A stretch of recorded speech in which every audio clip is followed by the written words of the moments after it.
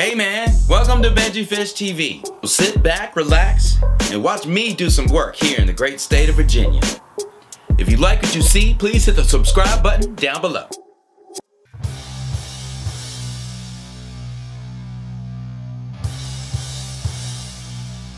So I don't do a lot of kayak fishing during the winter time because I make sure that I have plenty of other things to do. So what that means is that I'm stuck with bank fishing. And unfortunately, we're sort of limited with our spots. Outside of the normal fishing spots that you would find on the banks, there's also little animal trails. There's a lot of deer that come up to uh, you know, drink the water. Those those spots are good. A lot of these lakes and ponds still have briar patches at the banks, and trust me, the red briars are red for a fucking reason. So in the wintertime, the bass will generally head towards deeper water because it's warmer.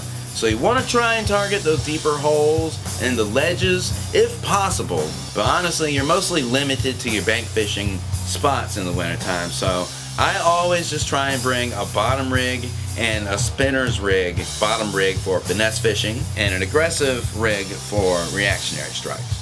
Now, I always thought that the bass religiously hibernated in the deeper waters during the wintertime, but apparently that's not entirely accurate. Just the other day, I was watching a professional YouTube angler telling me about a scientific study where they actually tagged bass like they were fucking sharks. These scientists actually put little GPS devices inside of the bass so they could track them over the course of however long. For those of you that think that catch and release anglers are harming the fish, I say go fuck yourselves because a stunning percentage of the bass that were tagged in this scientific study were found in the middle of the woods, mangled and dropped by birds of prey. As for the fish that did survive the study, the scientists were shocked to discover that a lot of bass actually do still hang out in the shallow waters during the colder seasons. In fact, it seems like a lot of these bass would locate two or three of their favorite spots, hang out there and guard them very closely, rather territorial a lot like humans, I guess.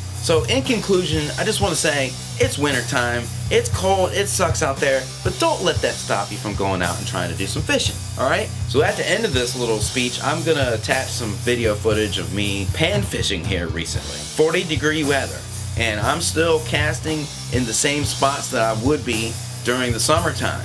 So if you want to try and get some fish in your hands, get out there and do some pan fishing, you know? I'm using the exact same rig and pattern, technique, and everything that I would use in the summertime. It's just a little slower. I, I, I would catch about five fish as opposed to 50, you know? But hey, I'm still catching some fish.